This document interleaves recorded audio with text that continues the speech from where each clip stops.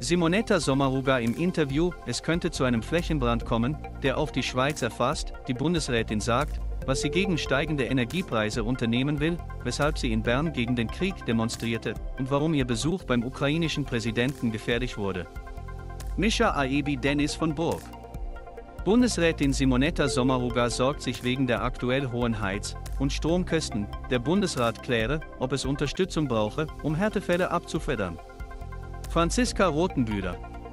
Diese Woche kündigte die Umweltministerin an, dass es einen Schutzschirm für die Schweizer Energieunternehmen brauche, weil es an den Strom- und Ölmärkten historisch nie dagewesene Turbulenzen gebe. Die Situation beschäftigt sie so, dass sie sich kurz vor Ostern noch Zeit nahm, um sich in einem Interview zu erklären.